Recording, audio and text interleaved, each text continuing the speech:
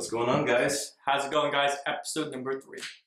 Episode number three, and we're going to talk about kind of the corner store of the Oshawa community. Agreed. We're going to drink some coffee that we, Paid yeah, we paid for it. again. I'm growing a beard. He wants to look like Harry. Yeah, so I figure, you know, being a ginger is a curse, I might as well use it to my advantage. I agree. Yeah. Yeah. Well, which part do you agree with? All of it. So stay tuned, guys. All Should, right. be, should be a good one. See you guys in a bit. All right. Well, what's going on, guys? Episode three coming your way. Time flies. It does fly. Um, we wanted to kind of talk about something that's a very timely topic. hmm Uh, the McLaughlin family. and uh, I guess we're, impact. we're watching kind of the last chapter of that saga. That- that- I, I- I think in a way, no, not all of it is ever going to go away because the city wouldn't be what it is, and this region wouldn't be what it is without it being here. But uh, you know, the sad news is that what 100 and, 50? 150 years Yeah. of, of history almost is coming to an end Right. as we speak. Um, but um, it wasn't always like this. So No. Oshawa was this tiny little out of the way town, um, and up in Enniskillen, right? Yeah. There were things happening. There was a very successful little business Back in going 1869. 1869. So Yeah. Tell me about that. So they were building So it really started off with Robert Sr. Robert Senior. Right. He was the one who was building sleds and carriages just for fun. So he was just kind of a technically minded guy. Yeah, he's a young guy too. Right. Inventive. So in the summers, you would build, uh, I believe, it was sleds, oh, cool. right? And then I guess people started buying them. They're like, "Oh, that's cool. I want one too." Yeah. Right. And then ten years later, he goes, "Whoa, we're outgrowing this spot." Build it, they will come. right? Exactly. So then, uh, like any good business, he went. You know what? We need to be somewhere where there's uh, financial institutions Right. and railroad. Railroad is crucial back then. Right. So Actually, it's still crucial, it's still crucial. right? And I guess Oshawa was this closest spot.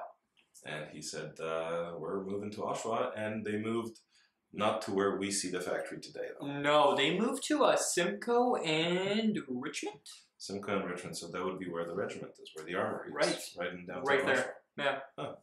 Yeah. So that's, uh, That's 1879. and it's a historical spot. Yeah. Wow, look at that. And it burned down too.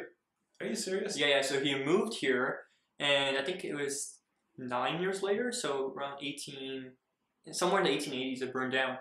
Fires were no joke back then. No, no, no. When you read history, it's always like, and then it burnt down. Like, Yeah. what was happening? No, no. It got destroyed. Oh my gosh! Well, that, that's that's pretty tragic. I, Yeah. I don't know if there was any loss of life, but No, but they did lose everything from Wow! from what I've read. Can you imagine? Though? Yeah. You move from your entire operation. Right.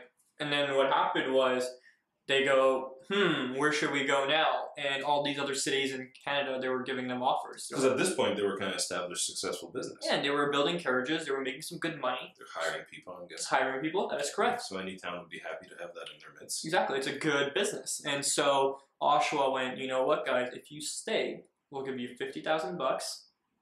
Remember, 50000 bucks in 1880, whatever. Gosh, this sounds familiar. Yeah. And There's like a 150 year history of that too. Right. that is true, billing them out. Right, but uh, you know what? You can't really blame them. No, Uh, they were bringing so much money in. Even back then, okay, on a smaller scale, Mhm. but you know, somebody had to feed the people who worked there. I agree. Had to clothe And they employed a lot too. Somebody had And they to employed people in the trades. uh, you know, they probably brought in people from outside the, Right. the town. Uh, yeah, so it was it was good for business all around, just Yeah. like it is today. And the part that really stuck out, uh, stuck out with Oshawa's deal was that no interest and a 20 year repayment period. Wow. Yeah. Fifty grand back then. Holy cow. That's not, that's that's a lot of money for them, not a lot of money for us. No, well, fifty grand doesn't really. That's not even a down payment on a house. No, no, but no. just imagine that they Mhm. started an entire carriage. But at this point, they're still building horse-drawn carriages. Correct. So this is still before any of this car business happens. Right, right. And Robert Senior, he had two sons, Mhm. and they kind of got into the game. Okay, so both of them kind of started working at Yeah, but in different aspects of it. Okay. Like I think Sam was more so. Uh, so Sam's the one that really made it a motor company. Mhm. He was more so the brains of the operation. Like he would oversee it, and then the other brother, he was more hands on. Okay. Right. So I guess he followed more in a dad's footsteps. who liked to Right, work with his right. So when he was young, he didn't really have an interest in the business, but he ended up going to the U.S. right uh, to go happening. exactly to go work for one of the motor companies, Yeah. and he comes back. I think in the late 1890s or early 1900s, and he goes, he goes, listen, Dad, we're gonna be screwed. They're building cars. We're we're building carriages. Right, they're way ahead of us. We thought we were the pioneers, but they finished carriages years ago. Yeah. Now they're building motorized vehicles. I can imagine that went over like a lead balloon because Yeah. from everything I've read and, you know history's pretty clear on hmm. this. The old guard did not like the horseless carriages. No, no, he's like, what are you talking about? Yeah. Yeah. This is the invention of the devil. Right. And there would be blood in the streets and Well, the whole transition between horse-drawn carriage and the car was that people were going, well, our horse can take us home when we're drunk. yeah, that's true. You can't drive yourself home when you're drunk, Can, right? can you imagine that that was an actual like uh, That was a problem. consideration? yeah. I mean, now we're going okay. This car will drive 150 kilometers Right. an hour safely on a highway. Back then, those cars didn't go very much faster than the horses, and a horse could obviously do it by itself without running off the road Exactly. because they're a smart critter Right. and uh, probably smarter than uh, we are in a lot of ways Yeah, for sure. because they're not drunk. so uh, the son comes back. He says that um, they kind of become a motor company. They move away from the carriage company to a motor company in 1908, I think. So the son eventually wins over. I can imagine there was Yeah, but his dad still wasn't happy, no. right? Because they were, I think, they did 25,000 carriages a year. And this is like 19, early 19, like 19, The population of Canada back then was what? I mean, not a lot, Not a lot. So I mean, right? So I think they said 1901 they were averaging about 25,000 a year, which is a lot. That's a, that's a huge company. Yeah. That's a successful business. Right. Can you imagine? Now you're taking a business. It's one thing when your business fails and Mhm. you're about to go broke. You're about to go, and, and you're looking for desperation. Mhm. Let's fix this, whichever way. All of a sudden, Right. any port in the storm. But this guy's running a successful business, Yeah, they're doing very well. They're making a lot of money. and his set in his way kind of uh, Yeah. way of thinking. Well, that, that gravy train's never going to. Well, I'm thinking if it's if it's not broke, uh, if it's not broke, then why fix it? Exactly. And his kid's telling him it's going to be broken. He Yeah. goes, "Well, it's not yet." Yeah, exactly. So let's Wow. run it until it does, and then we'll figure it out. But Sam, he goes, you know what? No, we should follow the motor trend. Yeah, of course. Right. So from what I've heard, they actually had uh, Buick, like whoever the VP of Buick was, Okay.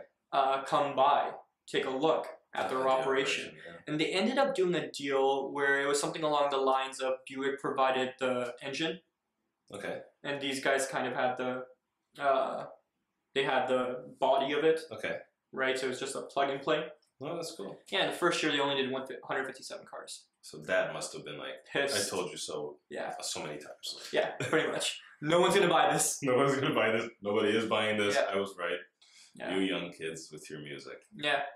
Back in 18. what? No, now we're in the early 1900s. Oh, nine. Oh, okay. So, Yeah. so yeah, there's. Definitely not footloose music though. No, not footloose music. So, uh, but one thing that did come out of that was they patented patented ah the fifth wheel.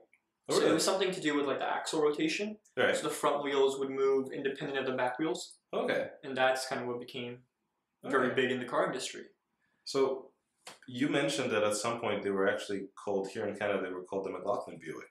Yeah, so at one point, uh, I believe it was 19. So about, uh, early on, I think some people say that Buick kind of left the deal because they weren't doing enough money. Other people say Buick stayed, so it's kind of hard to figure it out exactly. Yeah. But in 1918, uh, the McLaughlin family they kind of figured out that you know what, we don't have a third generation Oh, that's going to be interested in this, so they sold it to General Motors. You can see a lot the of US. these uh, early cars at the. There's a very nice automotive museum in, Yeah. in Oshawa. Yeah, right across the street from, like Yeah. not across the street, but close Just by. Pretty much around the corner, just on Simcoe Street, Yeah. south of, of King. And uh, I know a lot of people who live here, Right. driven by it a million times, don't even know that this very, very interesting little museum is Mm. there. It's not that small, actually. No, no, and it actually has the McLaughlin Buick. It has a, Yeah. and that's why I, I, I thought I'd mention it because uh, where else are you going to find one of those? And it's a part of uh, Canadian history and it's part of our local history. For sure. And again, as you can tell, we're kind of big on that. kind of stuff. exactly. So uh, they had that deal with General Motors, right? And so they kind of started building cars. Uh, World War, actually not World War Two, not yet. Not yet. So we're, we're still going through. So through World War One, everything was kind of business as usual. We're, we're building cars. Yeah, so they ended up changing the name to Buick because I guess General Motors bought Buick as well, Right. right? And so they were calling it the Buick. People didn't like it. Sales plummeted. So they went, you know what? It's called the McLaughlin Buick. And all of a sudden, the locals went, okay. Oh, that makes sense. Behind that. Yeah, yeah. Local boy done good. Yep. Exactly. So uh, that goes on, and then World War II comes around. And, And they go, you know what? We're full fledged, willing to help. And that's a whole other chapter of this story, I guess. Yeah. And so after World War II ends, the new cars that come out, they're just called a Buick. And McLaughlin, done. And I, guess that brings us more into the uh, the, the modern era. Yeah. Very interesting. Yeah. Yeah. All right. So one thing that I kind of want to talk Mhm. about. I'm a huge World War II geek. That's Right. kind of my favorite part of that period in history. Um, so at this point, after World War One, they're already building cars full time, Pretty much. but they're still called the McLaughlin Buick. Mm, yeah, it, it was it was kind of like a let's see what works kind of thing because the locals weren't okay with well, I guess Just Canadians. the, the American car. Exactly. So they kind of had to have that Canadian influence. But by the time World War II rolls around, so 1930, the late 1930s, 1939, World War II Yeah. starts. Uh, this is a fairly uh, functioning, burgeoning business. It's it's Right. It's, it's, It's kind of like they've hammered it out, they've cleaned the process, and now it's a legitimate. Like there aren't any errors now, right? And then on what the second of September or the fifth of September, 1939, Great Britain uh, and France Mhm. declare war on Germany Right, after Germany invades Poland, and of course we are part of the Commonwealth. right. Um, so Canada's at war now. Yeah, and what happens is that uh, when General Motors took over McLaughlin uh, Motor Company, Yeah. they kept the two brothers. Oh, did they? So yeah, so Sam became Oh, okay. the innovator, the older brother. He Okay. became president, and his other brother became VP. Really? right? And they were Oshawa boys, like they were locals, right? So they went to the Canadian government to go, where whatever you need, we got you. They were patriots. Yeah. So during uh, World War II, from what I understand, they built uh, all kinds of war machinery. They were building tanks. Yeah. So I don't know like how much of it they actually built built, Mhm. but they had a big role in the automotive portion of the war. Well, and, and that, that is part of uh, part of the reason why the Allies won. Um, honestly, eventually, when when uh, the war started turning in our favor, Mhm. we showed up with, with trucks and tanks and Right. and uh, and just an endless stream and endless supply of them, and Mhm. a lot of that, the contribution to it was uh, from right here in Canada. Right. I agree. And right here in Oshawa. right here in Oshawa. Yeah. So, um, if you ever go to Costco in Oshawa, that's where the factory used to be. Right. Well, it used to be all around Oshawa, And different they- portions of Yeah, it. they had little uh, locations all over the place, but eventually, um, I guess they arrived in that big uh, plot of land. There. I think that was in the fifties. hmm 1950s. Yeah, and they were employing. I think at one point, this is like early, actually mid to late nineteen hundreds, but they were employing like 6,000, 7,000, 8,000 Yeah. people. And then. Oh, were- fun fact! Yeah. In World War II during the 40s, Mhm. they had uh, seven thousand employees. Really? Yeah, and forty five hundred were just employees that were dealing with war vehicles. Oh, really? So like trucks, I guess tanks and all that stuff. And I'm guessing a lot of them were probably women at this point because. Uh, That's a good were, question. you know, Yeah. I mean, that was a big shift in industry back then. Right. Um, So uh, that plant played a big role in, in, in, in that social aspect of history that, that, that we don't really talk about very much. Exactly. Um, I guess this kind of brings us in a roundabout way Mhm. um, to today. So the General Motors plant in Oshawa Mhm. has been recognized as an industry leader Right. um, within the General Motors family, they've consistently been the highest quality. Mhm.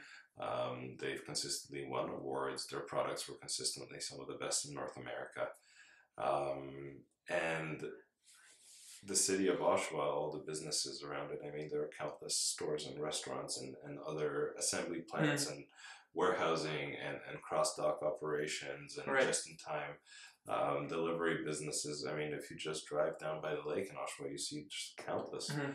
um, number of companies, local companies. Mhm. Well, if you look at a company like Mackie's, which is a huge name right Mhm. here in Oshawa, I mean, they're, they're I know they're you know originally a moving company, but they've they've got a um, a very um, close tie with, with General Motors, and, and, Mm-hmm. and the success of the two companies almost goes hand in hand. Right. And there are countless businesses like that. Yeah. And unfortunately, now in 2020, we have a, a city in transition. Right. Um, General Motors and Oshawa was almost always in the same sentence, Right. and uh, we're kind of wondering what's going to happen. I mean, there- there's General Motors uh, Canada headquarters are in Oshawa. Pretty much. We have them down by the lake, uh, Mhm. just east of, uh, of Harmony Road. A Right. beautiful building there, and um, I don't think anybody really saw it ending. No. And you know what? It was here for what's 100, 150 years? Four generations? Yeah. Four generations is a long time. It is a long time. Everybody knew when, when you when you came to Canada as a, as a new Canadian Mhm. or or uh, from another part of Canada Mhm. or, or you know just being born here and growing up here, you knew that General Motors was uh, kind of the beating heart of uh, of Durham region, Right. and uh, now we're at a crossroads Mhm. because it's no longer there and uh, production's ceasing. Yeah. Um, and and the trickle down economics of it are, are very very hard to uh, to underestimate because I mean you're you're looking at like I said every little restaurant coffee shop that was around there I mean uh, and and then the big companies Right. and everything else that fed that so Well, if you look at any business, right? Um, when people move in, Mhm. right? When you're employing like 7,000 people, that's no joke, no that is a big right? So you need housing for those people. And then you need everything else. Oh, let me just mute my phone. You're a popular guy You know it. So you need uh, you need restaurants for them, obviously, right? So as more people come, industry grows, business grows, and everything else grows. And now here we are. We're a full-on city. Yeah, and, and you know it's funny because even as far as back as the the 1980s, Mhm. really the only uh, name brand hotel in Durham region was a Holiday Inn down by uh, Harmony Road and and uh, and the 401. Mhm. Uh, we didn't have all the the Motel No. Eights and the Marriotts and everything that we have now Right. dotting the landscape. And yeah, there were little privately owned hotels. Mhm. Um, but that hotel pretty much owed its entire existence to the fact that the bigwigs from Detroit would come over. They would stay a Uh, couple nights, stay a couple whatever. nights. Uh, anybody and everybody who had to come over and deal with the plant was Mhm. staying in that hotel. That Yeah. hotel pretty much existed because GM Yeah. was And here. well, a bunch of the homes off of Simcoe. Mhm. So when you're going down Simcoe uh, towards uh, towards Taunton, Mhm, you mhm. know you see all those really big the big mansions there. the execs own them. Yeah, and tho- those were those were the GM guys. Yeah, and then Parkwood Estates. Yeah. It was the McLaughlin family. Yeah. So Sam and his wife. and uh, they, they even when the plant leaves, the foot the, the, the fingerprints of the McLaughlin family are going to still be all over this Mhm. place. They were they were philanthropists. They Yeah. donated to the arts. They built uh, community facilities. And it's kind of unfortunate after, and I get it, it's business, but after General Motors kind of bought them out, Mhm.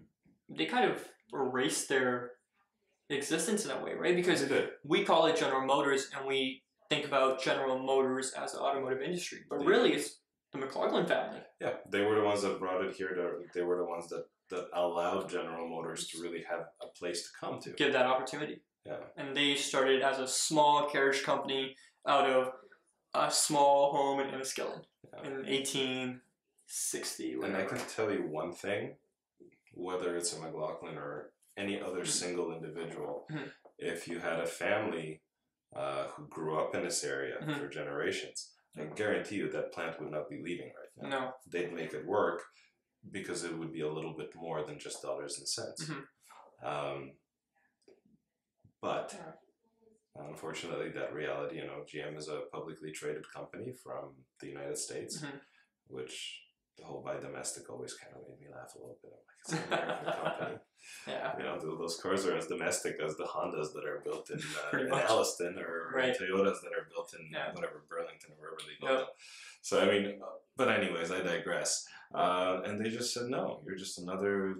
Mm. You're just another balance sheet, and this one is is not looking right, which is sad because, like I said earlier, uh, they were always the the leading quality uh, provider of of, of, of GM products Yeah. throughout the entire GM umbrella. They, And it makes you think if Sam, if Robert Samuel uh, McLaughlin didn't sell the company, where would they be today? well, here's would the they question. be gone? would they just be gone like so many Dissolved. other small uh, automotive businesses? Right, At that point, you still had guys building cars. right, Like, I mean, you had Buick because the guy that started it was named Buick. right. Uh, I mean, you had uh, But all- then again, Buick got bought out too. Buick got bought out. But what I'm saying is, there were all these little companies Right. back then um, that even in the last 50 years completely disappeared off the face of the planet. I- I'd say that if I had to, if I was a betting man, I'd say that the McLaughlin Carriage Works, if they were not uh, affiliated with General Motors, probably would have uh, fallen victim to um, kind of the amalgamation of, of, of the automotive industry. Right. No And the big issue had- becomes when these bigger companies they can produce che- uh, for less. Well, not even produce for less, but they have the space in their budget to outprice you, They do. right? They, they will. They will beat you down. They'll sell at a loss Yeah. until you're dead, and then they'll make their money. yeah. So if you're a small company out of Oshawa, right, it's it's- hard to stay with the market. It's kind of like doing legal battle with a huge corporation. Even if they know they're wrong, They know don't care. They, can starve you. Yeah. They'll, they'll, they'll drag you through courts until you say, you know what, I don't have any more money. yeah, exactly. And it's kind of the same thing in industry, and uh, it's sad because uh, on the one hand, I'm absolutely certain that if a family-owned business was still here, we Mhm. wouldn't be talking about General Motors leaving. No. But at the same time, would we even be talking about this right now? And another question would we be? Would we even be where we are today? Would Oshawa be the city it is today? Well, because now we have the infrastructure, Right, but we have the infrastructure because, because of, of them. exactly. And and um, so I'm The trying. to, GM was kind of it was a double edged sword. it was a double-edged sword, but I. I'd like to stay positive. Like Yeah. I, I want to end this episode on a positive Mhm. note. Um, Visit the museum. visit the museum, have a look at our history. There's a lot to be proud of here. So the automotive museum, where is it exactly? It's on? Simcoe Street. It's And- right on Simcoe Street. Simcoe it's just south of. Uh, it's just south of King. Yeah, so take a look. Admission's pretty cheap, so It- it is it's whatever, expensive. But right? there are unique things there that you will literally They actually have else the. McLaughlin Buick. So Yeah. go see that. Uh, we'll we'll drop a link to the Mhm. museum in the description below. Yeah, and, uh, there are pre- there's some pretty cool pamphlets that I saw, like advertising advertisements Mhm. for the McLaughlin car. Mhm. I think it was like a thousand bucks. So we'll include that as well. yeah, I'll have a link to that. Yeah, And guys, uh, if- you know, drop us a like. Um, drop us a subscribe. that would be wonderful. Yeah. And drop us a comment. Let us know what you think. Where Yeah. where are we going now as a city, as a region? Yeah. I know that General Motors is no longer here. Um, there's got to be a positive to this. But there's got to be an upside. So I agree. uh, I'm hoping that uh, some smart people will get together and figure out a way that Mm-hmm. uh, um, you know we can utilize this kind of industrial heartland that, that Right. Oshawa was uh, to move forward. And the biggest thing is we need to remember where we came from. Meaning we need to know the history, We need to know the history. right? We can't just forget about the McLaughlin family just like that. Exactly, because you know General Motors came and, and guess what, they went. Yeah, But uh, the McLaughlins lived their entire lives, they were the pioneers. and and the, their legacy is still here. Yeah. So on that note, we're uh, we're gonna say thank you very much for watching. Uh, thank Episode you for number three. us. Episode number three. Yeah. Let us know what kind of subject matter you'd like to see in uh, Right. future episodes. Um, start a dialogue. We'd love to hear from you. All right. See you guys next week. Take care.